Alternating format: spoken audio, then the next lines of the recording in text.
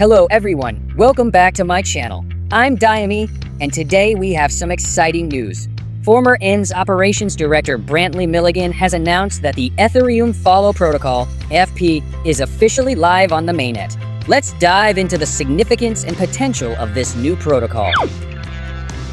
According to Blockbeats, EFP is a decentralized on-chain social graph protocol for Ethereum accounts, aiming to provide new social infrastructure for the Ethereum ecosystem. As a new primitive in the Ethereum identity stack, EFP complements existing protocols like ENS and SIWE, adding a social dimension to various crypto applications.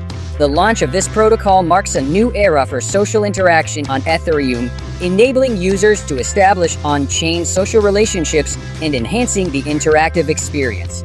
With EFP, Ethereum becomes not just a trading platform, but also a social network. The launch of EFP brings immense potential to the Ethereum ecosystem. With the introduction of social features, crypto applications can offer richer and more diverse user experiences. This development may also attract more users to engage with the Ethereum community.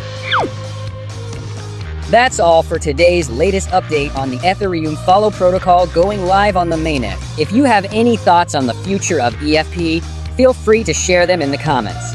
Don't forget to like, subscribe, and hit the notification bell for more updates on blockchain and cryptocurrency. Thanks for watching, and see you next time.